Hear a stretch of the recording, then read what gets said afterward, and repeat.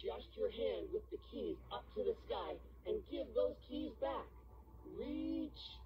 You did it. Oh no. The other squirrel dropped its nuts.